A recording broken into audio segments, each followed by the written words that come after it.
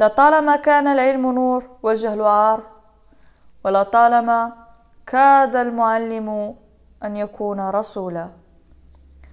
هذه المقولتان أصبحت معانيها تتلاشى في مجتمعنا المغربي حيث أصبحوا أكبر ضحايا السلطة والقانون هم التلامذة والأساتذة.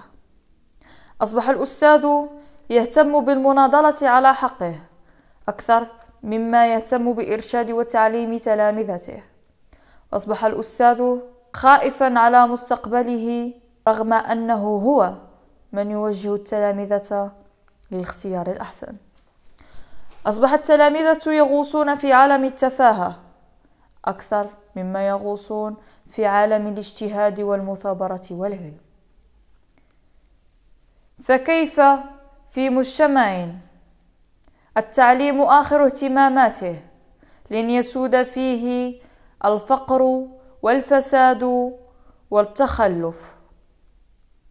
فكيف في مجتمع الأستاذ منقذه يصبح غريقة؟